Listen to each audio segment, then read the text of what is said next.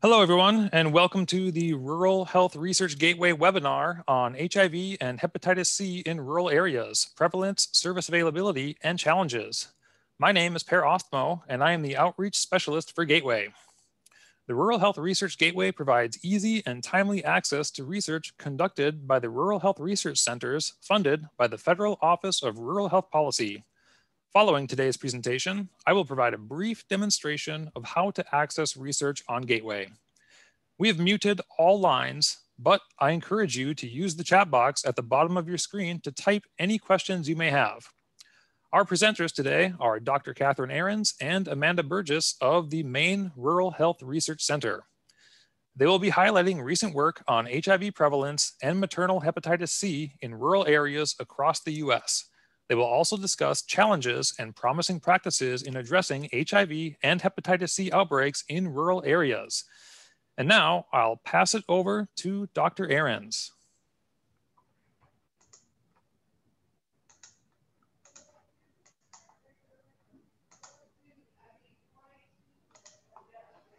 Okay, great. Thank you so much, Per. Um, good afternoon, everyone. Thank you for attending this Gateway webinar titled HIV and Hepatitis C in Rural Areas, Prevalence, Service Availability, and Challenges.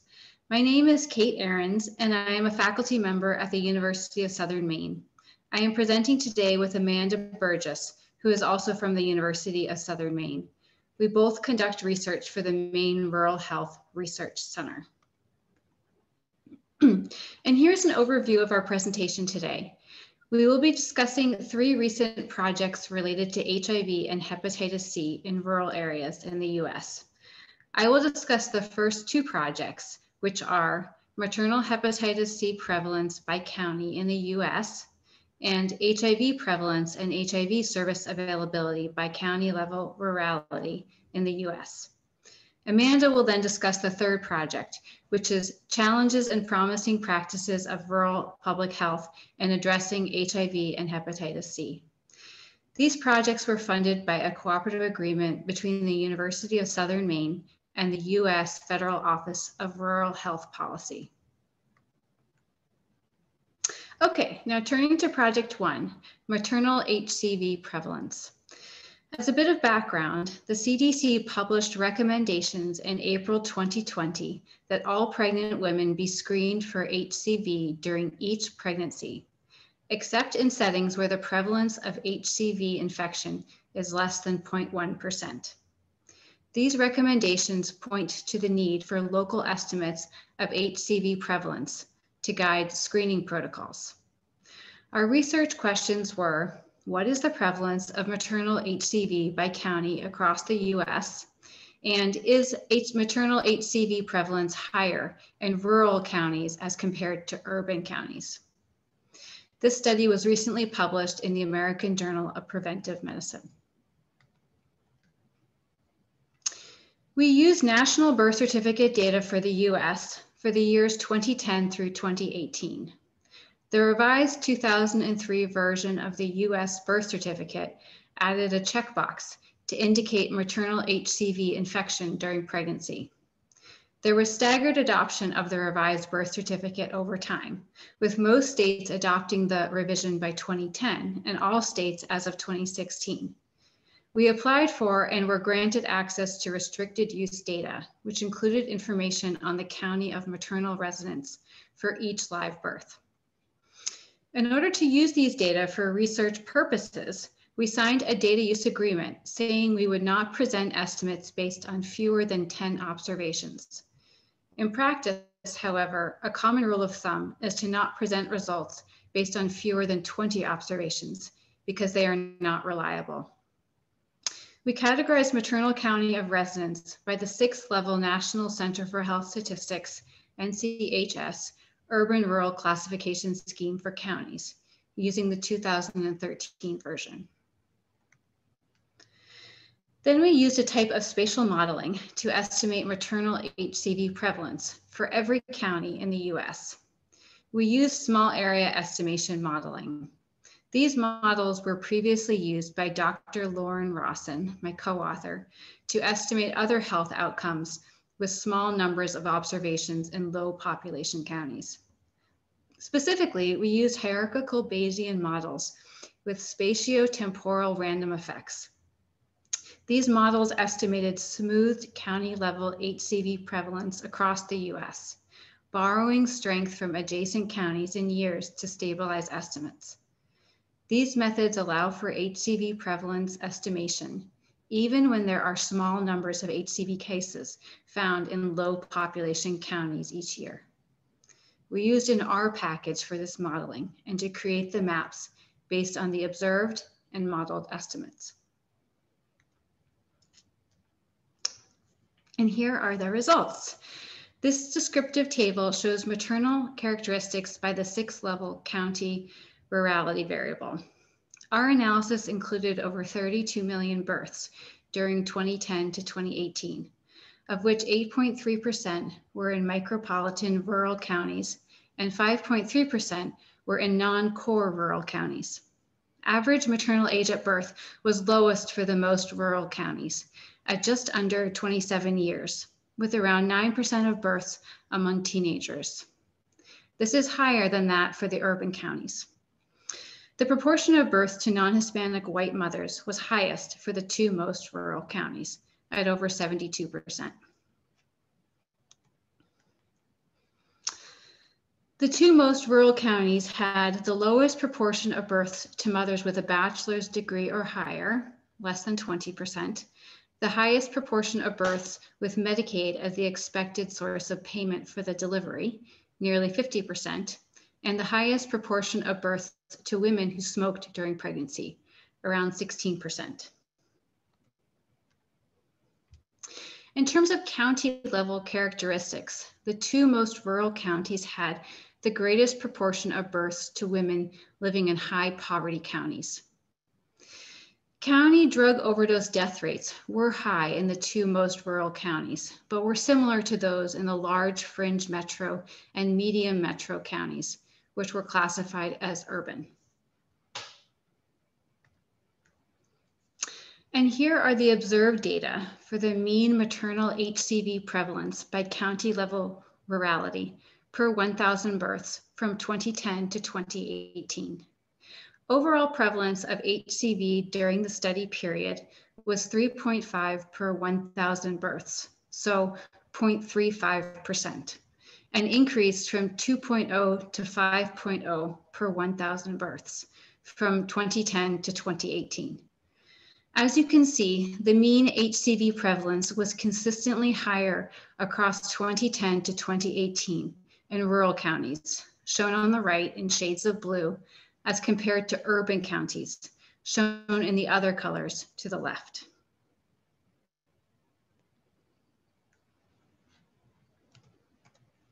And here is a map just showing the counties with 20 or more maternal HCV cases in 2018. The counties with the highest mean prevalence are shown in red, and those with the lowest prevalence are shown in yellow. The gray counties are the areas for which estimates could not be reliably generated. Therefore, observed data are only available for 7.7% of all counties in the US and less than 1% of rural counties. This is the map that you would get just using the observed data. Data are suppressed for the vast majority of counties due to small counts. And here are the results of the Bayesian analysis showing modeled HCV prevalence for every county in the US. These data are for the year 2016, the first year where there was complete adoption of the revised birth certificate with the HCV checkbox added. The same color scale was applied here. Again, yellow indicates low prevalence areas and the darkest red indicates the highest prevalence areas. Next, I'll show you maps for the years 2017 and 2018, so you can see how maternal HCV prevalence changed over time. As part of publishing our paper, we included a supplemental Excel file with estimates of HCV prevalence for each county in the US for the years 2016 to 2018. Those estimates are the same ones that were used to generate this map. In year 2017, some areas got darker particularly the edges of the areas that were already dark. And the same thing occurred for the years 2018. And I'll just show it to you again more quickly so you can see the changes.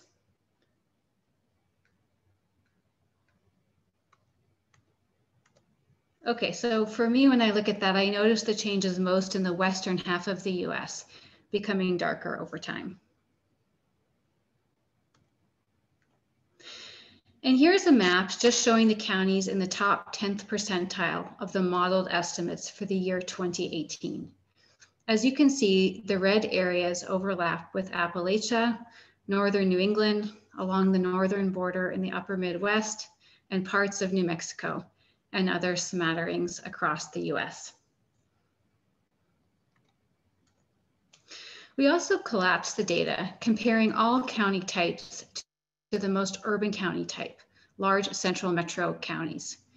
Using the observed data, HCV prevalence ranged from 2.4 per 1,000 births in large central metro counties to 9.1 per 1,000 births in non-core counties. In the two most rural counties, the prevalence of maternal HCV was 3.54 to 3.82 times as high as the prevalence in large central metro counties. Using the model data, we had very similar findings. However, the prevalence estimates were somewhat attenuated for the two rural county levels. Okay, in conclusion, using this small area estimation method, we were able to generate maternal HCV prevalence estimates for every county in the country. These estimates can be used to help inform which areas need universal testing of pregnant women. However, birth certificate data on maternal HCV infection are most likely underreported due to the current lack of universal testing and it is unknown what type of HCV test was used for the birth certificate reporting. The CDC recommendations are based specifically on HCV RNA test positivity rates. All right, now on to project two, HIV prevalence. Our goal here was to estimate county level HIV prevalence for every county in the US. We began with the state and county level HIV prevalence estimates released by CDC's Atlas Plus. We used the most recent data available from 2016. Atlas Plus uses data from the National HIV Surveillance System, which aggregates data from all 50 states, DC, and six US dependent areas. HIV prevalence was defined as all persons aged 13 and older living with a diagnosed HIV or AIDS as of the end of 2016. The most recent known address as of December 31st, 2016 was used to assign persons to specific geographic areas. Uh, these findings were published as a chart book, which is available on the Rural Health Research Gateway.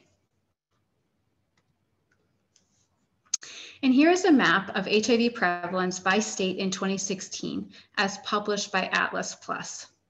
This map shows higher HIV prevalence in dark blue in the Southeast, New York, Maryland, DC, Delaware, Puerto Rico, and the US Virgin Islands. There is lower HIV prevalence in yellow in the Northern Plains, New Hampshire, West Virginia, Alaska, and some dependent areas. And here are the county level HIV prevalence estimates for 2016 as published by Atlas Plus. In order to protect personal privacy and to prevent revealing information that may identify specific individuals, small data values were suppressed if population denominator was less than 100 or the total case count was one to four. Suppression rules were also based on data re-release agreements between the CDC and local HIV surveillance programs.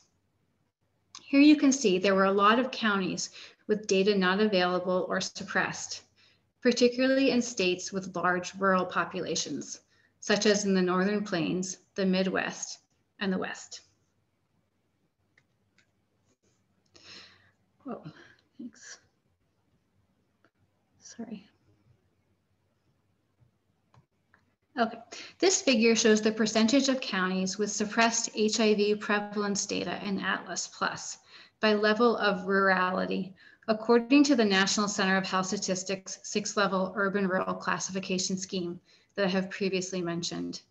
Here, the four urban levels are shown as U1 through U4, and the two rural levels are shown as R1 and R2. Overall, only 6% of urban counties had suppressed data compared to 26% of rural counties. Among the most rural counties, 34% had suppressed data, which is not surprising because rural counties are more sparsely populated.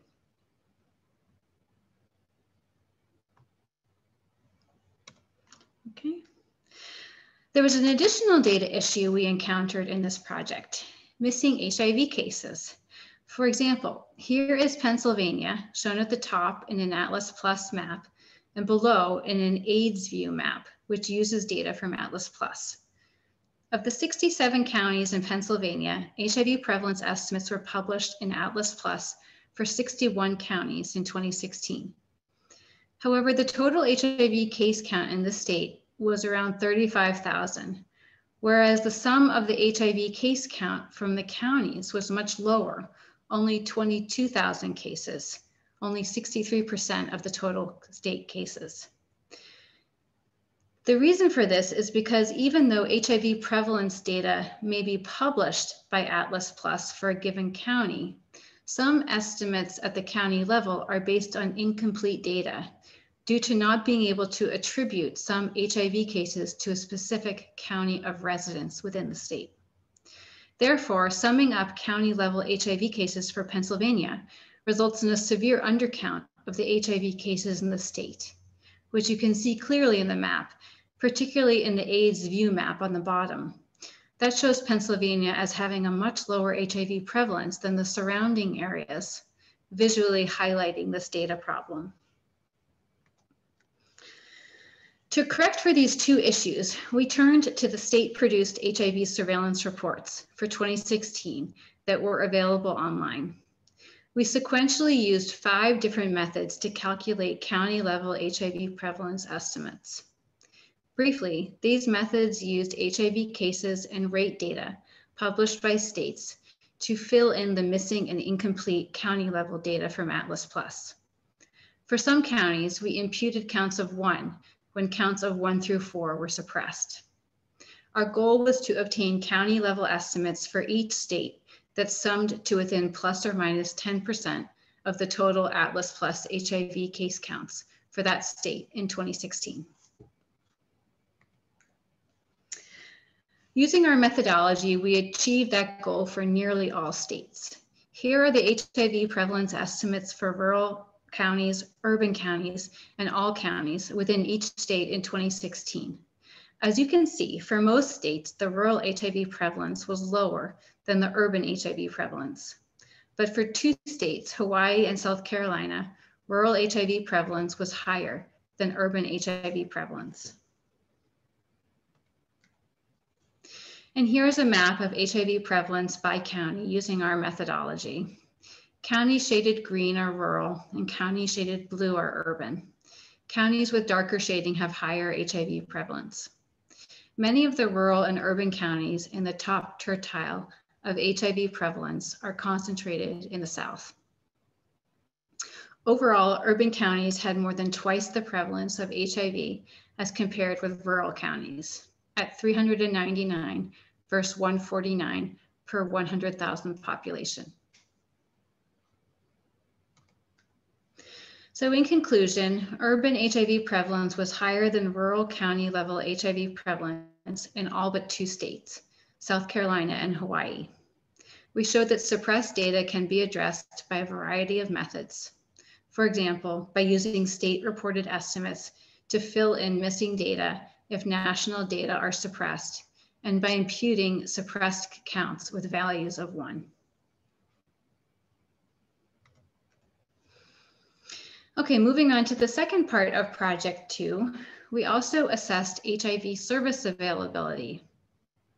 Our research question was, what is the availability of HIV prevention, testing, and treatment services by rurality of county and US Census region.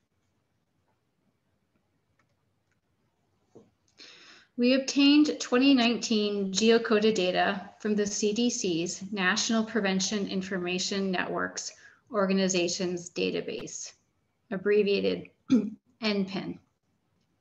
This database includes approximately 12,000 organizations that provided at least one of 16 services related to HIV, AIDS, viral hepatitis, and sexually transmitted diseases that year. Organizations include AIDS service organizations, clinics, hospitals, public health departments, social service organizations, and others. We linked the geocoded data to the 2013 National Center for Health Statistics six level urban rural classification scheme that I've mentioned previously and categorized organizations as located in urban or rural counties. We considered findings to be statistically significant if the p-values were less than 0.05.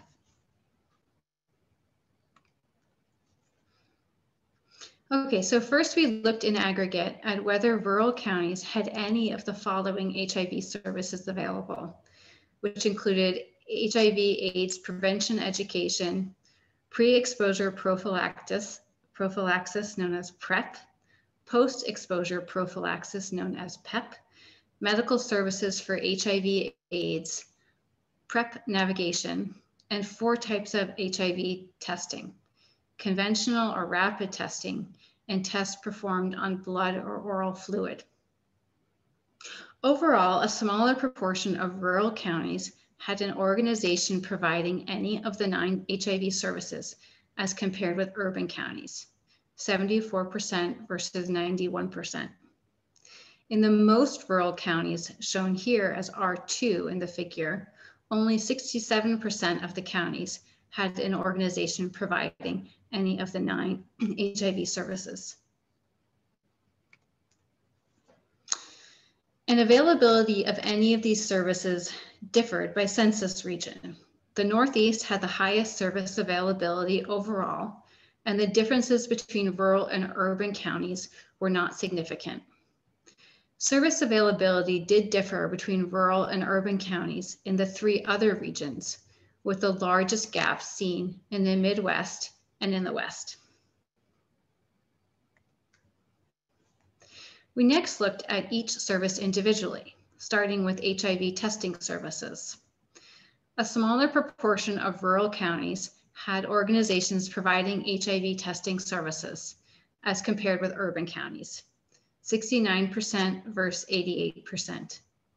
In the most rural counties, only 61% of counties had an organization providing HIV testing services. We again looked by region and found no differences between rural and urban counties in the Northeast, but differences in the Midwest, South, and in the West. Again, the largest gap was in the Midwest, with only 49% of rural counties reportedly having organizations that provide testing as compared with 75% of urban counties.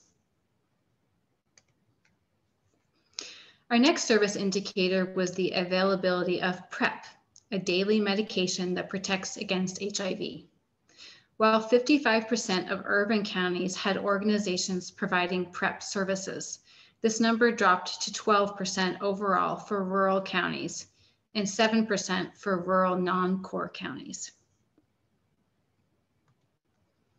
When we looked at this by census region, a smaller proportion of rural counties in each region had an organization providing PrEP services as compared with urban counties. Finally, we looked at the availability of HIV AIDS prevention education. For this measure, we again see that the availability of these services in rural counties is less than in urban counties, 71% versus 88%. And rural urban differences were not significant in the Northeast, but were significant in the Midwest, South, and in the West. In conclusion, HIV prevalence and the availability of HIV related services varied across the rural urban continuum and US Census regions. Compared with urban counties, a smaller proportion of rural counties had organizations that provided HIV prevention, testing, and treatment services. And now I'll pass this presentation off to Amanda, who will discuss our third research project related to HIV and HCV in rural areas in the US. Katherine, Katherine, I'm going to interrupt here with a question. Um, were there any specific states, especially in the Midwest or West, that had egregiously significant disparities in terms of rurality? For services or HIV prevalence? Services. Oh, um, I we did not look at it by state, so we could do that. We just focused on the census regions. Okay, thank you. But if you if you do look up our chartbook product on Gateway, there are service maps um, at the county level that you can that you can look at.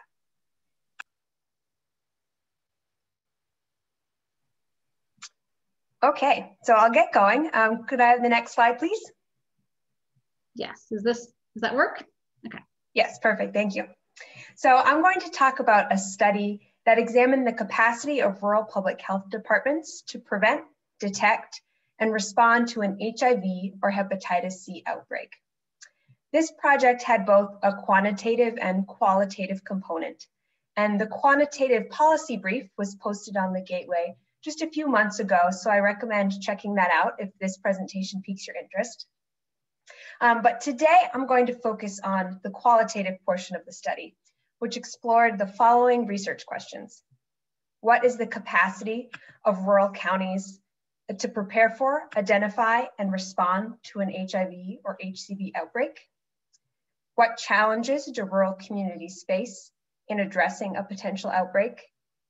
And what strategies are used to address those challenges?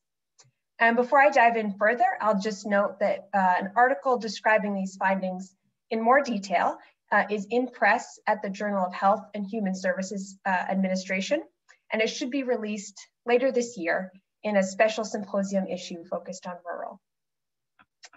Next slide, please. Our first step was to identify a set of states from which to recruit key informants.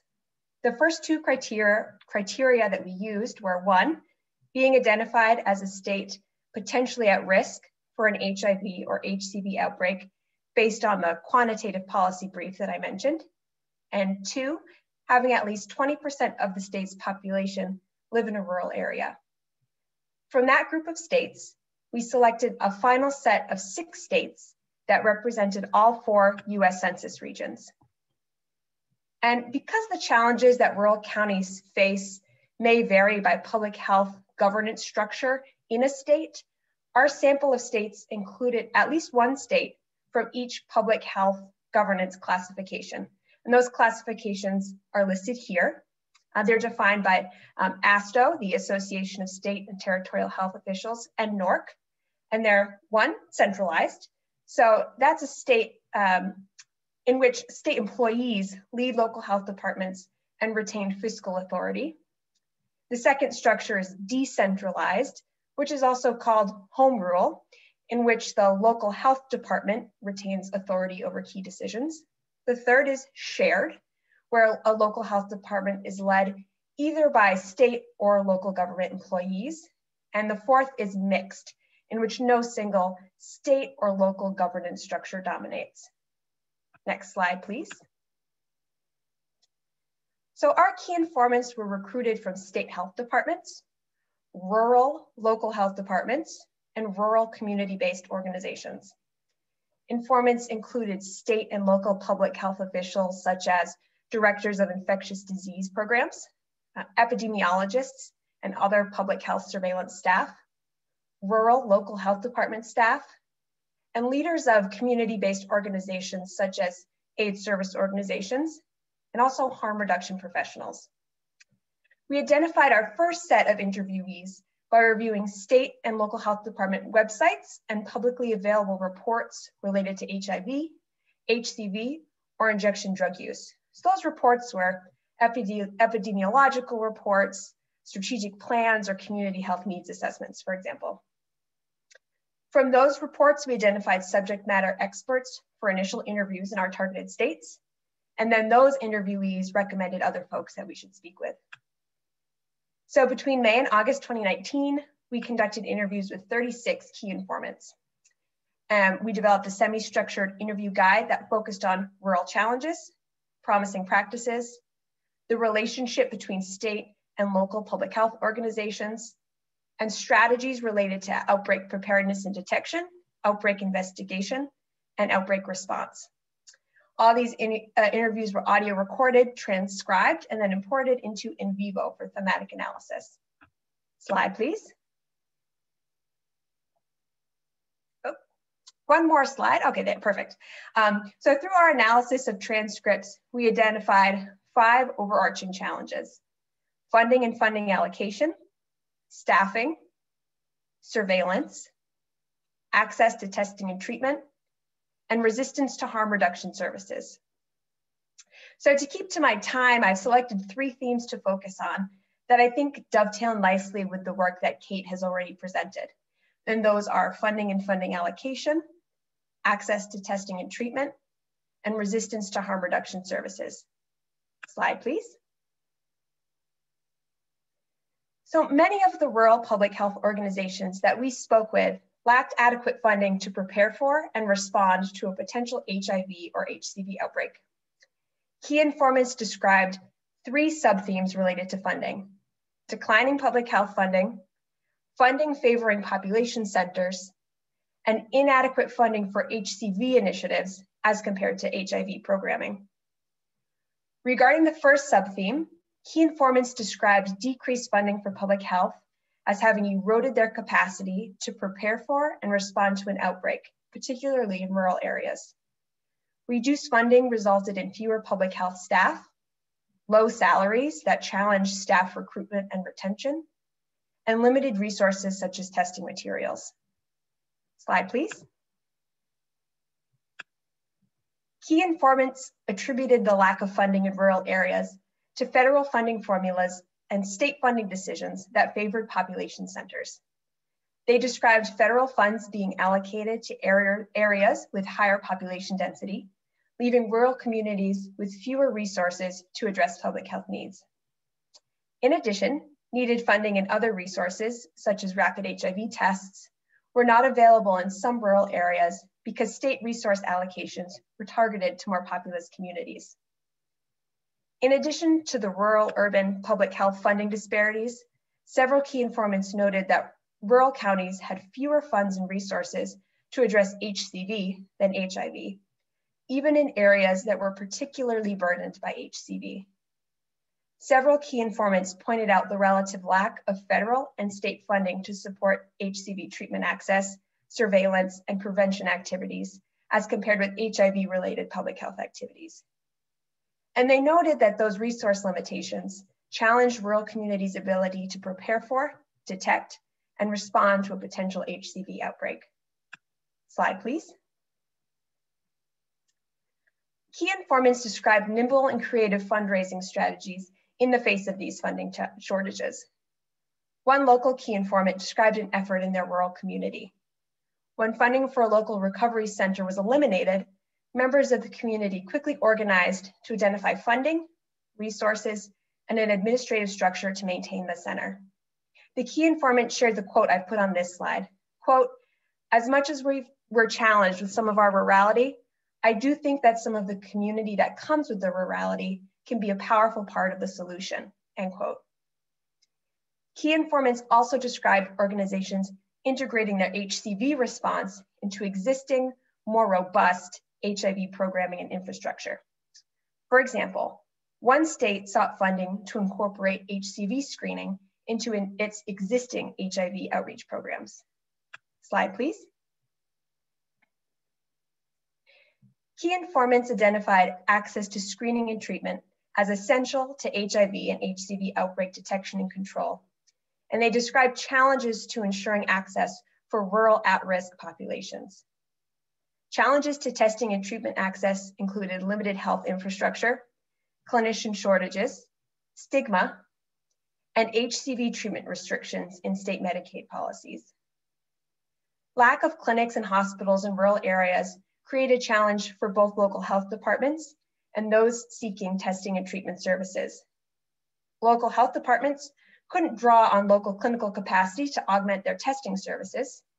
And in many cases, patients had to travel long distances for their care, as illustrated by the two quotes on this slide. In the same vein, clinician shortages were identified as barriers to testing and treatment. One informant from a local health department noted that their local primary care provider, quote, will try to link folks to care if they find out they're hepatitis C positive, but they don't have the capacity to care for their patients, end quote. Next slide, please. Key informants in all six of the study states describe challenges reaching rural persons who inject drugs so that they can be tested and if needed, treated for HIV or HCV. The most commonly identified barrier was stigma, which contributed to the reluctance of persons who inject drugs to get tested locally for fear of a lack of anonymity. This concern was particularly acute in rural areas with limited testing and treatment options. Key informants from several states uh, noted state Medicaid and in some cases clinician or program specific policies that posed a barrier to treating patients with HCV. Specifically, key informants mentioned sobriety requirements for both rehabilitation and HCV treatment, as well as fibrosis staging requirements for HCV treatment. Describing challenges getting their clients into a rehabilitation program, one key informant shared, quote, the biggest challenge was the fact that somebody had to be sober for seven days before they could get into the program. Slide, please. Key informants described a mix of strategies to improve access to testing, as well as uptake of testing and treatment among affected populations. These included telehealth, community outreach, including community health workers and mobile units, service integration, and patient navigation. Key informants described telehealth being used to train or support rural clinicians so they could deliver specialty care needed for HCV and HIV and provide medication for addiction treatment or MAT. Key informants also described new federal funding in support of telehealth enabled MAT services as a facilitator to increase treatment uptake among persons who inject drugs. Next slide, please. Key informants in many states mentioned outreach to affected populations through community-based organizations, community health workers, or mobile units as an essential part of ensuring access to testing and treatment. Community outreach workers were deployed to areas where affected populations could be reached and where injection drug use was more prevalent. Several key informants emphasized the importance of partnering with community health workers or other community-based organizations that already have relationships with individuals who inject drugs because they've already built that trust and encourage folks to um, get tested and get into treatment. Key informants in several states viewed mobile clinics as a promising strategy. Some mobile clinics that were described were full service health centers, while others focused on syringe exchange or other harm reduction services. Service integration, co-location of services, and patient navigation were also identified as means of improving access among at-risk rural populations. Several key informants described connections to local emergency departments, for example, in one state, recovery coaches were positioned in emergency departments to help navigate patients to testing and treatment. Next slide, please.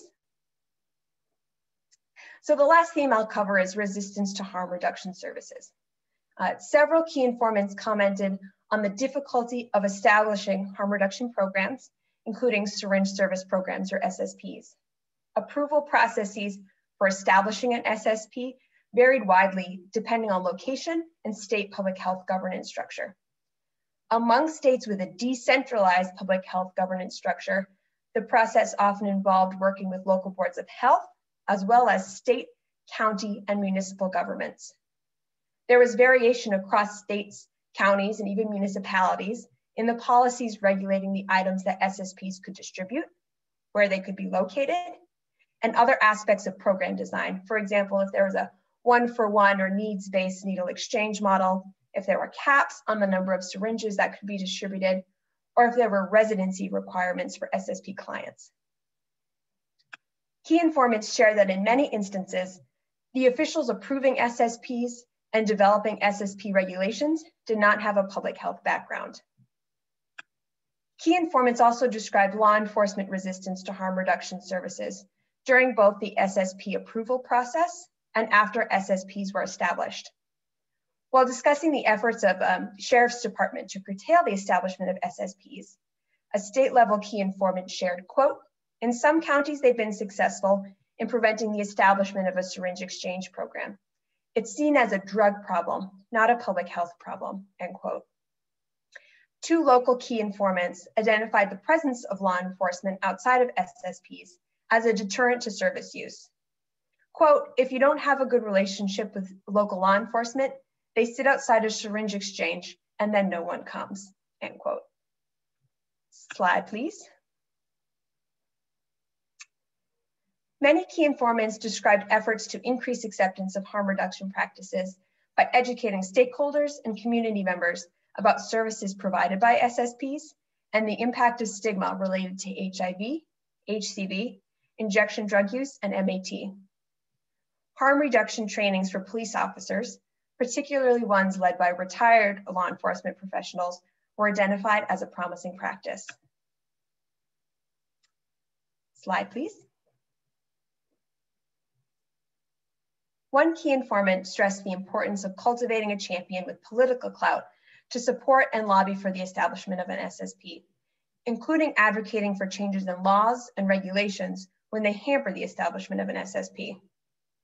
Several key informants emphasized the importance of including a wide range of community stakeholders in the planning process, including religious leaders, EMS, law enforcement, mayors, county commissioners, and other elected officials. Key informants from states with a centralized public health governance structure described centralization as a facilitator of SSP establishment, as illustrated by the quote on this slide. Quote, given that we can provide harm reduction services in our health offices, we can op operate regardless of a location's political environment, end quote. Slide, please. So in conclusion, we found that rural public health organizations faced funding challenges limited access to local HIV and HCV testing and treatment options, and stakeholder and community resistance to evidence-based public health approaches. Rural communities were using a variety of innovative approaches to address these challenges and prepare for the threat of an infectious disease outbreak. Slide, please. And so now we just want to uh, recognize our co-authors who are listed here. Erica Ziller, the director of the Maine Rural Health Research Center, Karen Pearson, Kristen Palmston, Lauren Rawson, Martha Elbaum Williamson, Jacqueline Janis, Jennifer Leonardson, and Louisa Monk. So now we are going to open it up for questions.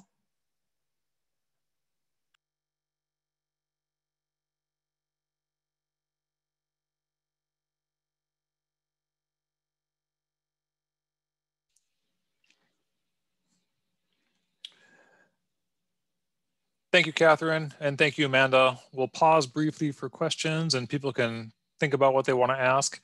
Um, but now I'm going to show everybody how to use the Rural Health Gateway website.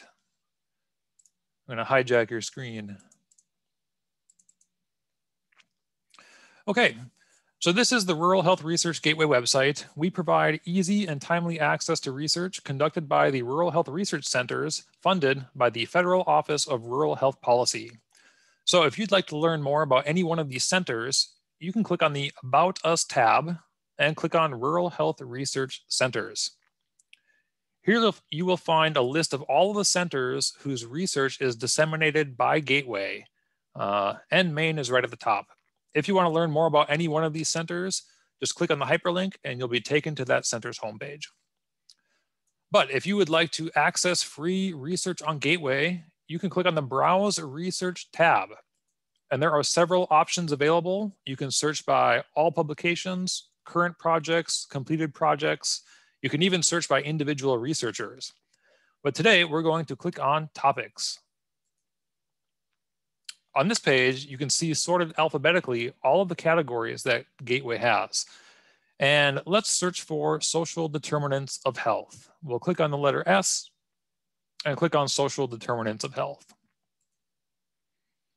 On this page, you can see that there are 27 research products and journal articles on this topic. You can also access quick links to previous one-page recaps on the topic and quick links to archived webinar recordings on the topic. But let's look at these 27 research articles. On this page, you'll see all of them listed by date with the newest products at the top. We also allow you to filter the products. Journal articles are sometimes hidden behind a paywall, so you can filter those out. Products are all freely accessible and include policy briefs, fact sheets, reports, chart books, infographics, etc. So here we have the main, uh, the product from Maine, rural HIV prevalence and service availability in the United States. If you want to access this product, just click on the link.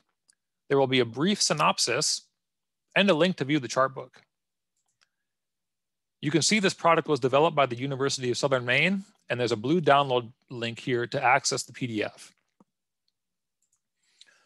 Now, another way to stay up to date on research is the Gateway Research Alerts. If you click on the Research Alert tab, you'll have the option to enter your name and email to subscribe to our list serve. And that means that whenever any of the rural health research centers publish new research, you'll be emailed with a link to access that research for free. Uh, if you subscribe, you can expect between two and five emails per month. Also, if you like to see rural health research as you scroll through social media, you can follow us on Facebook and Twitter at RHR Gateway. So that's a brief overview of how to access research on Gateway. I'll pause for a moment in case there are any questions. And there was a question a bit earlier during Kate's presentation about exactly what um, organizations are included in the NPIN database as far as uh, testing options. And to the, the question, it, they do include public health departments. They also include AIDS service organizations, clinics, um, hospital, social and social service organizations as well. And they also include commercial clinics if they have a partnership with a state or local health department um, to offer uh, these types of services. Thank you, Amanda.